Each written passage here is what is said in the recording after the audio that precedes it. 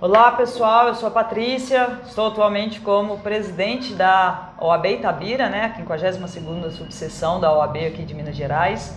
É, estou hoje acompanhada das colegas é, membros que compõem né, a comissão da Mulher Advogada, da OAB Mulher, aqui na nossa subseção, aqui na nossa cidade. Doutora Júlia, doutora Sabrina, doutora Joane. Temos ainda a doutora Beatriz Barreta, doutora Juliana Drummond, e assim, estou encantada com o trabalho das meninas. Fico muito feliz em ver cada vez mais a participação é, das mulheres na sociedade de uma maneira geral. Isso é muito importante para a gente. Né? Acho que o propósito, o nosso propósito é até esse. Acho que como é, é, formadoras de opinião nos cabe sim participar desta forma. É, temos muitos eventos essa semana, temos muitos assuntos importantes para fa falar durante a semana. Já agradeço o destaque pelo excelente trabalho. Estou adorando e gostando de ver o trabalho de vocês. Deixa eu só anunciar, porque eu mencionei o nome da doutora Juliana Drummond e nós já estamos gravando e ela acabou de chegar. Por favor, doutora, acomode-se. Bom dia. Bom dia. Bom dia, doutora. É, e aí, até gostaria de saber, vou, vou passar a palavra para a doutora Sabrina, né? Porque temos muitas atividades. Hoje a gente tem um evento às 17 horas, 17 horas, né? Muito bacana. É isso aí. Bom, é, é, eu que agradeço poder participar dessa comissão com essas colegas que eu admiro demais. Doutora Patrícia vem à frente da OAB fazendo excelente trabalho e não poderia ser diferente desse mês de março, que a gente comemora o Dia das Mulheres, fazer um evento, inclusive, para glorificar tudo o que ela tem feito, porque é, desde que ela assumiu a presidência do OAB, ela vem fazendo um trabalho muito ativo, não só para as advogadas, obviamente, mas para toda a classe. E eu fico muito lisonjeada de participar da comissão e muito feliz de poder colocar na prática esse projeto que para mim representa muito. Por que representa muito? Né? Eu tenho assim, se for olhar no papel mesmo, mais de 20 anos de exercício de advocacia, de inscrita na OAB desde 2007, né? Aí vão alguns anos. E. Revelou a idade, né? É. Não, não tem problema de falar a minha idade, tá? Eu tenho 39 anos.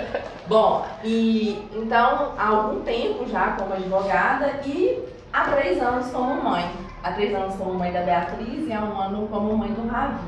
E a minha vida, com certeza, e quem é mãe aqui, deu uma modificada total após a maternidade e sendo apaixonada pela advocacia e sendo apaixonada pela maternidade, eu tive que arrumar uma forma de fazer com que as duas coisas acontecessem e acontecessem bem. E aí, estudando, pensando, fazendo alguns alguns anos, alguns meses de terapia e por aí vai, lendo de como faz isso, como faz aquilo. É, eu, eu consegui, de certa forma, encontrar um equilíbrio até então, porque a maternidade também tem fases, né, Juliana? Tem fases de criança, tem fases de bebê, tem fases de adolescente. E aí, eu, no momento, eu tenho um certo equilíbrio nessas, nessas duas funções que eu tenho, além das outras, né? Esposa, dona de casa e por aí vai, né, Joana? Que também tem fases. a carreira tem fase, a fase da dona de casa tem fases. Elas costumam ser semanais, né? Mas... E, e, na verdade, essa realidade é da mulher geral, não é nem só da mulher advogada, né? Da mulher empreendedora, da mulher que sonha, da mulher que está lá estudando. Da própria dona de casa também, que passa por tudo isso. É exatamente nesse ponto que eu chegar. Embora seja um evento, o que vai acontecer hoje, para advogados, porque a gente está aqui na, na, na, nossa casa, na nossa sede, é, falando da nossa classe, é, qualquer mulher que participasse desse evento, evento se identificaria, ficaria muito satisfeita e tenho certeza que é, seria é, muito gratificante participar.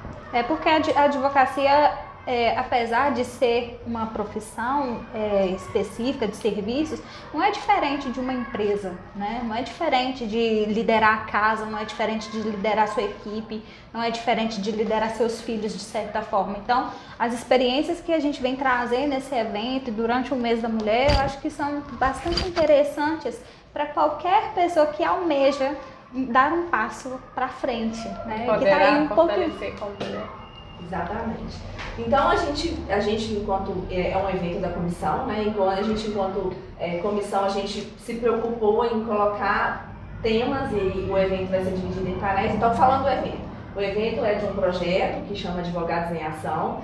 É, ele é, tem como tema geral derrubando barreiras para a sessão profissional das advogadas. Ele vai acontecer hoje, às 17 horas, aqui no auditório do CREA, que fica em cima da sede da OAB. É um evento, como a gente disse inicialmente, feito para as advogadas, mas o público, aí o Heitor Bragança fica à vontade para participar, é só fazer inscrição e ver se ainda tem vaga, né? Pela, pela tem uma lotação, tem uma lotação é, máxima né, de pessoas, então é, depois, o Heitor, se quiser, a gente envia o, o banner para você compartilhar as informações certas de horário e local. E a gente se preocupou em dividir em três temas, três painéis, a fim de envolver, a, com a finalidade de envolver todos o nosso público de advogadas, que chama é, o primeiro painel Como alcançar um papel de liderança na carreira, muito importante, considerando que a gente sabe que existe um abismo muito grande é, para que a mulher alcance essa liderança. Uma das convidadas não poderia ser diferente é a nossa presidente, doutora Patrícia, ela vai poder falar muito, com muita propriedade a respeito disso. A segundo, o segundo painel, advocacia e maternidade, como equilibrar essa balança, que a gente tem como é, convidada especialíssima a doutora Juliana, que tem feito muito também na sua profissão, na sua especialidade e também tenho certeza que é uma excelente mãe, então ela vai poder falar dessa experiência para às vezes aquela profissional que está meio perdida, que saiu de licença maternidade não sabe como é que volta. Ai meu Deus, estou desesperada, agora o que, que eu faço com o menino e com carreira? Então acho que vai ser uma boa oportunidade. E tem o terceiro painel que temos como convidadíssimas doutora Joana e doutora Júlia, que são advogados que, embora jovens, têm feito muito, faz muito acontecer e a gente tem um orgulho das nossas jovens advogadas. e o tema é como superar os desafios do início da carreira, o que você faria se não tivesse medo. É, é, eu li um livro que, inclusive, fala que tem a santíssima trindade do medo: medo de ser péssima mãe medo de ser péssima esposa e medo de ser uma péssima profissional. Então, falar, levantar esses assuntos, levantar esse debate é muito importante para ajudar. A gente não está aqui querendo levantar bandeiras de que a gente é melhor, de que a gente tem que ter uma posição de destaque dos homens. Não, a gente acha que os homens são importantes demais para a nossa vida. É, eles têm características, natureza diferente da gente, mas a gente só quer ser, é, levantar debates para que a gente, enquanto mulher, a gente é, rompa essas barreiras internas que existem na gente. Então o evento é para falar disso. Vou passar aqui para a doutora Júlia agora, porque a gente tem um outro evento, né, doutora? É, teremos a caminhada, né, gente, é, será, acontecerá no dia 25 do 3. É, nessa caminhada é uma caminhada mais simbólica que a gente busca, na verdade, comemorar né, as lutas das mulheres durante esse, todo, todo esse tempo, toda essa história, né? E aí teremos uma manhã de lazer, é, teremos lazer para crianças, uma aula de beatbox também. É, a gente espera né, que cheguem várias mulheres né, para comemorar com a gente essa, essa luta aí. Tá? Então estão todas convidadas, dia 25 do 3, às 8 horas da manhã, aqui em frente à sede da OAB. Não esquece de trazer o boné, filtro solar, água e vir de um tênis, porque a, o hitbox vai ser bem bacana aqui pra gente. Você né? gosta de hitbox? Eu gosto.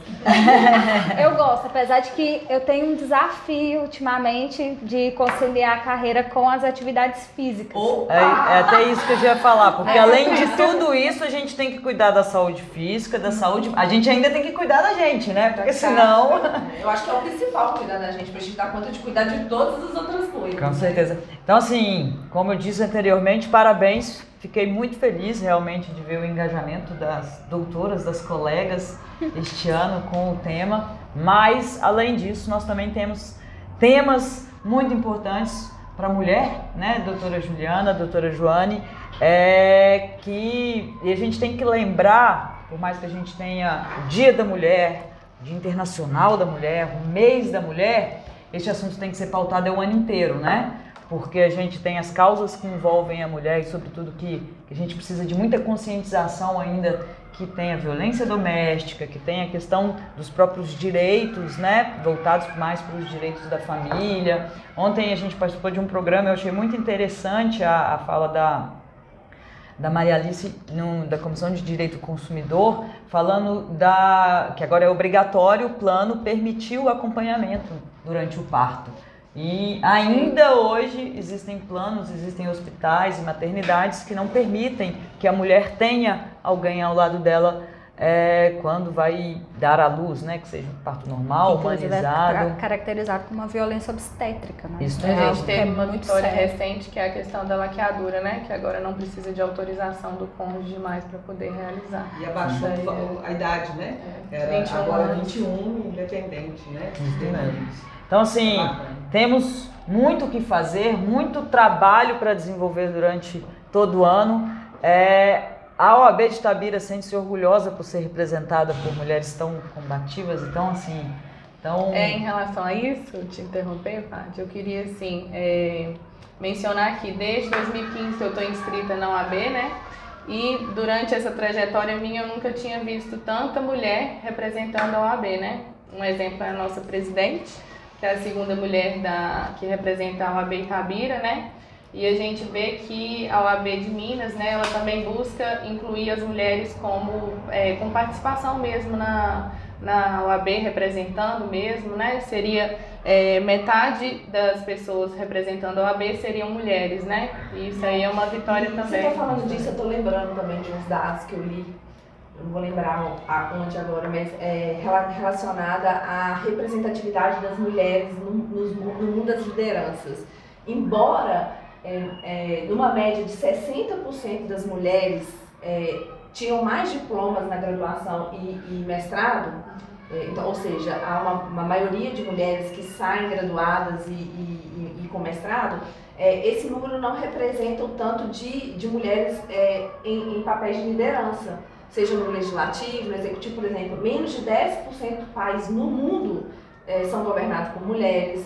Acho que aproximadamente, aproximadamente 20% das mulheres no mundo estão é, sendo representadas no Poder Legislativo. Sim. No Brasil, eu lembro dessa pesquisa falando que 14% apenas das mulheres assumem papel de, de, de, liderança nas, maiores, nas 500 maiores empresas é, do Brasil, do país. Então, é, em, em, em, o que se deve isso, né? Esse, esse distanciamento? Medo. É, eu, eu, acho que está mais ligada ao fato de, às vezes, mulheres não, ser, não serem é, treinadas, não serem é, estimuladas a ter ambição. Eu acho que por vezes passa até pela questão do próprio empoderamento, né? É. Porque a gente, a, a, gente fala muito do empoderamento, mas o empoderamento por vezes, é, talvez até recaia na questão do medo. É, nós temos que passar por muitas barreiras até que a gente consiga uma aceitação do homem para que a gente consiga ser eleito. Vou dar um exemplo bem claro em relação à OAB. É, a disputa da OAB que teríamos, não, não, tivemos, teve toda uma condução política, uma condução né, de articulação para que a gente conseguisse ter uma chapa única. É, e eu fiquei muito feliz, uma das pessoas que, uma das duas pessoas que eu, que eu me refiro, que realmente assim, quando eu estava para não vou mexer com isso, não vou focar em outra coisa, não quero saber de OAB agora, vou priorizar é, outros as, assuntos relacionados à minha vida e eu não, não sei se eu vou ter tanta disposição para a OAB. É, foram dois colegas homens que nós temos, vou citá-los, que é o Dr. Euler e o Dr. Rogério, que chegaram para mim e falaram: Patrícia, está na hora da OAB ter uma mulher presidente. Não dá mais para a gente ficar colocando o homem, a gente não sabe quando teremos uma outra oportunidade de ter novamente uma mulher que consiga exercer uma liderança e que tenha disposição para exercer essa liderança. E aí, Sabrina, é o que eu fico assim, talvez se eu não tivesse recebido naquele momento o apoio deles, eu tinha desistido, sabe? Então, assim, as nossas dificuldades por vezes, além de vencer todas as barreiras, nós temos um sexo oposto, que são grandes parceiros também, Sim. mas que culturalmente ainda tem muita dificuldade em ver uma mulher com talvez um pouco mais de ascensão, com um pouco mais de liderança, com um pouco mais de, é, vou usar a palavra traquejo na hora de resolver. E eu acho que nós mulheres, por vezes, temos até mais sensibilidade na hora de fazer algumas conduções, mas que para o homem, às vezes, isso significa uma ameaça. Então eu vejo muito dessa forma, sabe? Não, e por é isso que tem que ser um trabalho de conscientização. Não Mas apenas nosso de é, empoderamento, mas deles também de, Sim, olha, Na minha perspectiva, eu, eu concordo com boa parte que você está falando, mas, mas na minha perspectiva, a barreira é mais interna do que externa. É, a Também. barreira é mais interna, é mais de você ai, ter medo de assumir determinada coisa, ah, não, de priorizar mais família, de priorizar mais.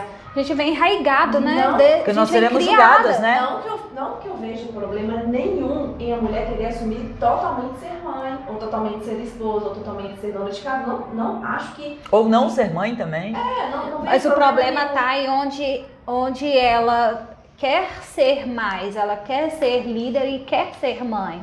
E quer cuidar do lar e quer cuidar da família e fica ali impedida por medos internos e por medo da própria sociedade onde ela vive, o meio ambiente onde Nós ela vive. não fomos criadas historicamente para ocupar cargos de É. liderança. E aí aonde que está o medo? Nós nascemos, nós nos nascemos para ser incentivadas a. Ainda temos. Ai, vamos lá, vai, vai lá, ocupa aquele cargo. Vai, você vai ser gerente, minha filha. Não tem pai que É fale isso. É. Fale assim, estude mais porque você vai ser alguém na vida. Mas não foi um cargo que nos foi dado, não é incentivado na nossa criação ter esse cargo. E além disso, então isso reflete dentro da gente. Por que, que a gente tem medo? Porque nós não fomos educadas para ocupar um lugar de homem. E de modo contrário, o homem também não vai ceder o seu espaço. Vem cá, vem, senta aqui. São pouquíssimos. São Você vê, pouquíssimos. numa OAB você faz referência de dois, Dois. homens. Numa, então nós temos que fazer não só a mulher ter o seu direito, a sua conscientização do seu poder, da sua capacidade, mas também nós temos que ter homens conscientizados de que a mulher também tem o seu espaço, deve garantir o seu espaço, precisa de ser, ocupar o seu espaço na sociedade, de ser mulher e ter espaço para isso. Então, assim, tem, to, tem do- to- todos os enfoques, né? Nós temos o interno, nós temos o externo, nós temos a nossa história de criação aí, que é bem significativa É, e eu- eu- traduz o que nós estamos fazendo hoje. Mas eu acho que vocês concordam comigo que quando a mulher quer mesmo, quando ela, ela rompe essas barreiras internas, ela faz. Porque a gente tem vários exemplos disso na história. E, assim, é claro que a consciência, a consciência do homem é algo importante, até porque homens são pais de meninas, né? Sim. São, são casados com suas esposas e, e, e- e- e ter essa, essa, esse, essa, essa, esse, esse conhecimento internalizado e aceitar isso é importante. Mas quando as mulheres elas querem fazer, elas fazem. Elas fazem porque elas estão incentivadas internamente e externamente. Eu penso dessa forma. É- é- eu vejo uma coisa, uma questão, assim, vocês que são mães, sobretudo na questão da educação, né? Porque a forma de romper tudo isso é educação. Então, assim, a mãe do menino. Então, eu acho que talvez essa nossa geração ela vai ter esse papel, né? Porque vem progredindo a passos lentos e talvez a gente consiga acelerar um pouco mais, porque os, os meninos de hoje em dia eles vão ter mães mais empoderadas, que carregarão menos culpa, menos medo. Então, acho que futuramente a gente vai ter talvez uma evolução com, passos mais largos, não é? Na minha área mesmo, né, advogado criminalista, eu sempre escuto perguntas assim, é, mas você não tem medo? Aí eu penso, será que eles fazem as mesmas perguntas para os advogados criminalistas homens? Eu acredito que não. Não, com Né? certeza não. A gente conversa com os advogados criminalistas, a gente sabe, eu convivi com advogados criminalistas e, e quando eu iniciei a minha carreira, eu iniciei na criminal. E aí eles ficavam assim, era, gente, chegava a ser ridículo a forma como a gente é tratado dentro de um tribunal criminal sendo uma advogada mulher. Eu já tive audiências de, assim, me pedirem para me silenciar. E, e ali a gente está fazendo a defesa do nosso cliente. Então, é, há um certo abuso com relação à profissão, há um certo abuso é, nesse sentido, mas é, partindo do pressuposto da, da, da observação da Patrícia, da observação da Sabrina, eu acho que a gente deveria ser parceiro.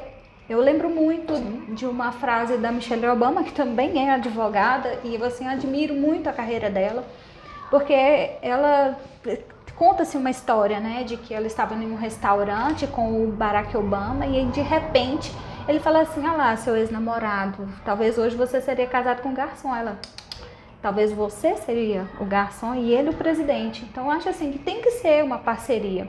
É bíblico, inclusive, né? De, de a mulher ser a ajudadora, mas não é ajudadora de ser submissa às suas vontades, é de olhar para frente, porque a gente tem uma visão que é uma visão muito mais emotiva, uma visão muito mais é, muito mais é, aberta com relação a todas as oportunidades. Sim, eu Até- acho que Pode falar, pode falar. E eu acho que as oportunidades, elas também aparecem e, eu acho que a gente, enquanto mulher, a gente tem que mostrar o nosso trabalho é com muito estudo, é com muita dedicação ao trabalho, é fazendo melhor, é fazendo mais, é fazendo, né, é, é fazendo tudo que tiver ao nosso alcance para a gente se posicionar como um excelente profissional, mas fazendo o melhor que a gente puder fazer. Sempre, né? Né? Sempre, sempre, sempre. E eu acho que depende muito da gente. É. Muito, muito. E, e pegando um gancho é, na, no seu exemplo da Michelle Obama, né? E já aproveitando e engajando com a doutora Juliana, é, a gente tem que colocar isso para as mulheres, porque por vezes essa frase da, da Michelle Obama, ela realmente representa isso.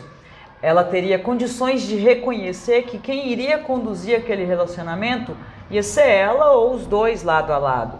Porque por vezes nós não temos isso, né? Não, não temos essa, esse reconhecimento, a gente vê por vezes a mulher mantendo relacionamentos extremamente abusivos, Subjugados. tóxicos, é, onde ela se coloca numa. Ela se coloca não, né? Ela é colocada numa, numa relação onde ela, existe uma inferioridade, onde existem abusos, diversos tipos de violência que a própria mulher às vezes não consegue é, reconhecer porque tem um sentimento por trás, um sentimento dela por trás daquilo. E um medo muito grande, muito irrigado. Também, mas por vezes, né, numa fase inicial de um relacionamento abusivo, é, eu acho que a dificuldade dela em reconhecer que a postura daquele homem em querer controlar a roupa, em querer controlar o celular, em querer controlar alguma coisa que ela, é, é, algum ato que ela queira praticar, que ela tem que ser livre para praticar. E às vezes consideram ciúmes. Ah, não, é porque ele é ciumento. tempero do A gente, relacionamento. a gente acaba a- a- procura uma desculpa, né? Ah, não, mas é porque ele é muito ciumento. Ah, mas não, é porque ele cuida de mim. E, e por vezes realmente a violência contra a mulher, ela vem é, num, num estágio inicial, né? Muito escondida em pseudo boas Normalizada. ações. Na É. verdade, a gente fala que é normalizada Isso e mesmo. romantizada. E, e De as mulheres. que é o príncipe encantado, Isso né? O mesmo. sapo, né? Como que a gente aprendeu? A sermos o quê? A esperar o príncipe para nos salvar, a beijar o sapo, né? E aí depois que ele transforma em príncipe. Então você fica assim, ah, e aí vem a igreja para falar assim, não, moça, é só rezar que passa, né? E a violência está cada vez sendo mais aumentada e ela não tendo rede de apoio. Sim. Então, assim, e a gente tem que reforçar que Itabira tem aparelhos fantásticos na questão da rede de apoio da mulher, como o CREAN, como a DEAN, né, a Delegacia Especializada em Atendimento à Mulher. Nós temos o Grupo Reflexivo para Homens, que faz a conscientização desses homens. Então, a gente trata a mulher de uma forma, né, de um lado, a gente trata o homem agressor de outro, para não replicar esses padrões que muitas vezes são o que ela ensinou, o que ela, o que ela percebeu como relacionamento, né? Sim. Vendo seus pais, vendo as suas mães e os filhos, achando que aquilo que é o normal de casamento, então vai aceitar tudo, né? E o menino vai fazer o que o pai fazia. E assim, não adianta a gente ter aparelhos fantásticos, a PDV, né, a Patrulha da Violência Doméstica aqui em Davi, se as pessoas não, não, não denunciarem, se as mulheres não perderem o medo e buscarem a autonomia econômica, né? Através dos programas do governo mesmo, né? Nós tivemos 150 capacitações o ano passado e esse ano o plano do governo é capacitar mais 150 mulheres para sair da dependência econômica, porque sabemos que, estatisticamente, a mulher que é empoderada, que tem o seu salário ali, né? a sua independência financeira, ela rompe mais rápido É os agir, né? relacionamentos abusivos. É o agir. Exato. Vamos agir. A mulher ela tem que ser o centro de ação dela, ela tem que querer, tem que vir de dentro. É claro que tem uma. Às vezes entra num, num ciclo vicioso, aí a mulher está é, Ela psicologicamente percebe. frágil e aí ela precisa de alguns apoios externos. Beleza, mas se se a partir desse momento ela conseguir de dentro dela tirar Se uma fortalecer. força e se fortalecer e procurar esses programas que você está citando que existe e se profissionalizar e buscar uma independência financeira e, e ter força de agir, acho que a- o cenário começa a mudar. Sim. E até pro- aproveitando aqui, só para a gente enfatizar, 190, 180. 181, né? Para denúncia anônima. Sim. né, que às vezes É, não porque quer se envolver. em briga de marido e mulher, de companheiros, se mete a colher sim. A gente Principalmente. salva a mulher, que é a mais Principalmente. Sempre, né? É, é importante que, que, a, que a sociedade, de uma maneira geral, por isso é sempre importante debater esse assunto, que tenha de fato esse entendimento, porque culturalmente nós estamos num prejuízo, então a gente precisa recuperar e quanto mais falar desse assunto, por mais que, que ele por vezes fique repetitivo, né? Ouvi isso outro dia, não, mas de novo esse assunto. É. Mas esse É, assunto tem que ser repetido é. sempre, porque Até acabar. é, Até por- acabar. isso, porque tem gente que ainda não consegue entender que realmente não, não, não tem mais espaço para esse tipo de conduta por parte de homens. E Então, a gente precisa entender que a violência é um problema de todos nós, né? com certeza. Mais uma vez, obrigada por este encontro aqui. Tenho certeza que a comissão da OAB Mulher, né, a Mulher Advogada, está em boas mãos aqui. Temos também a comissão estadual, sei que tem os participantes, né? É, sucesso para todas nós. Doutora Juliana, muito obrigada. Doutora Júlia, mais uma vez obrigada. Joane, Sabrina, fica aqui também o agradecimento para a doutora Beatriz Barreto. Sei que teremos agendas, né? Temos rádios, temos escolas, temos palestras. E que bom saber que estou acompanhada de mulheres conscientes e guerreiras. Obrigada. Obrigada. Até a próxima.